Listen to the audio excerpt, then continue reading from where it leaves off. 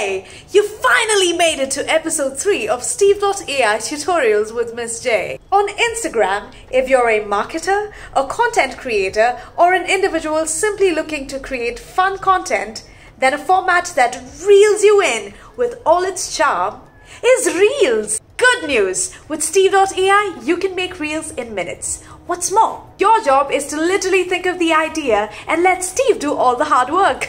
From choosing stunning visuals for the vertical format to racy edits to a huge audio library that auto syncs, making reels is a matter of a few clicks on Steve.ai. I love beaches, so I took the help of Steve.ai to create a personal stunning video that expresses my love for the beach. Let me show you.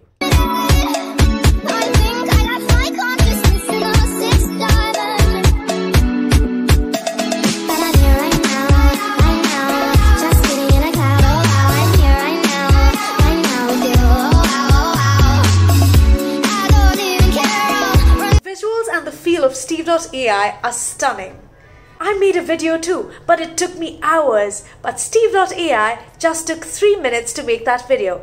Let me show you how. Log into Steve.ai and click on Script to Video.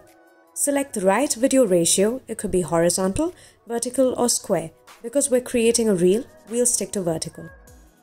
Edit the script according to the topic that you've picked and move to the theme page and select the theme that suits your topic the best. Here you go. Steve has picked out different templates for you depending on the topic that you've picked. You can choose to hide your text by clicking on the hide option. Let us now discuss about the huge audio library that Steve has. With a variety of audio options like electronic, acoustic, ambient, celebration, you can pick any song that you like that suits your video the best. You can also choose to increase or decrease your volume by adjusting the volume button or add voiceovers depending on the kind of video you're making. Voila! Your video is ready! So that was Steve's magic in action. I'm now passing on the magic wand to your hands, fellow creators. Let's see what you can do with it. I will see you soon in another tutorial video. Till then, keep growing, keep learning with Steve.ai.